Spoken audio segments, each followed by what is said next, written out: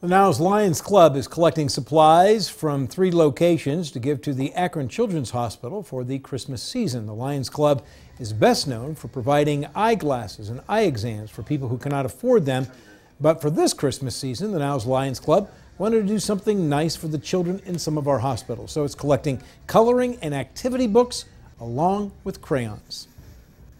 I just want a positive uh, participation from the community and hopefully we can get quite enough just to spread out to the hospital. The donations can be dropped off at the Record Connection, the Niles Parks and Wellness Center, and White's Towing.